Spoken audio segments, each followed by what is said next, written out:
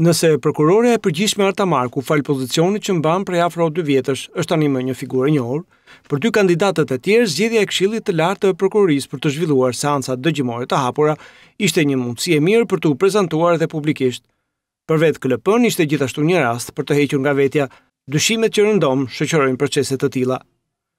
Përpara anëtarëve të Këshillit u paraqit fillimisht zonja Marku. Fakti që ajo për një kohë jo të shkurtër është në postin që synon ta mbajë sërish me një mandat të plotë, duket se ia kufizoi mundësinë për të ofruar propozime të shumta për drejtimin e ardhshëm të këtij institucioni, duke i mëshuar më tepër aktivitetit të deritanishëm.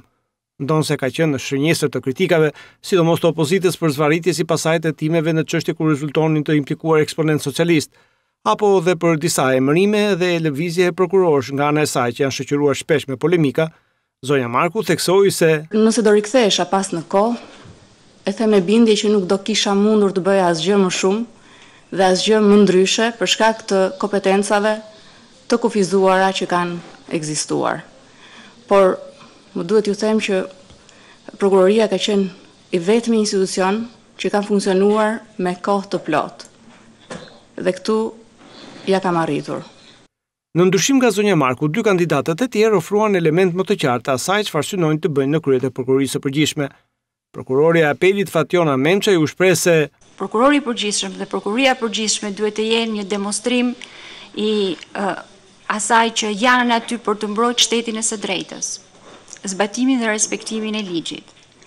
Për të siguruar zbatim të drejtë, të barabartë, efektiv të ligjit për çdo individ që vihet përballë akuzës që vihet përballë një procesi penal, të demonstrojë integritet, autoritet, lidership si individ, pra të demonstrojë atë çfarë sot pritet nga nga të gjithë njerëzit që mezi që po presin të implementojmë reformën në drejtësi. Me një platformë tejet të detajuar e cila përmbante që nga plani i veprimit e objektivat e synuar dhe mekanizmat për realizimin e këtyre objektivave, prokurori i Prokurorisë së Krimeve të Rënda Olsian Çela, ndryshe nga rivalet e tij, nuk e konsideroi një pengesë. Kompetencat e reduktuara që reforma në drejtësi ka përcaktuar për Prokurorin e Përgjithshëm. Përkundër pikëpamjes se ridimensionimi i rolit të Prokurorit të Përgjithshëm do të ulë në impaktin e tij në organin e Prokurorisë, mendoj se ndryshimi në thelb imponon një këndvështrim të ri mbi mënyrën e funksionimit të organit, kuptimin e drejtë të strukturave dhe forcave brenda tij. me qëllim implementimin e parimeve të decentralizimit dhe pavarësisë përmes aplikimit të instrumentave efikase që do të arrijnë të sigurojnë kohezionin, bashkëveprimin dhe shfrytëzimin optimal të të gjitha kapaciteteve. Ndikimi politik është një plagë e vjetër e prokurorisë shqiptare.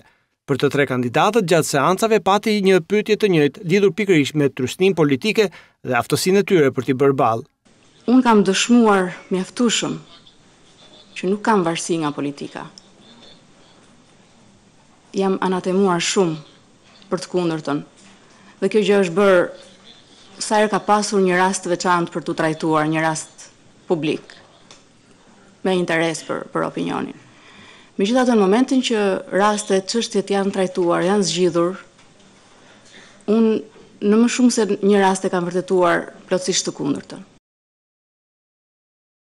Integriteti dhe mos influenca është çështje e secilit prej nesh dhe gjykoj se është një test që unë e kam kaluar. Jua jap edhe shpjegimin pse. Ju lutem mos ma merrni për mungesë modestie. Kam qenë prokurori i parë që kam kaluar vetingun.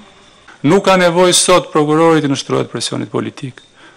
Ne kaluam një proces të vështirë reforme, është procesi i vetingut që është ndërkohë në proces dhe në fund të fundit procesi i vetingut çfarë po bën? Po u jep prokurorëve dinjitetin, po u jep garancinë për të qenë pavarur. Dhe në këtë kuadër, Prokurori i Përgjithshëm vlen po aq sa çdo prokuror tjetër i Republikës së Shqipërisë. Për Zërin e Amerikës, Armand Mero, Tiranë.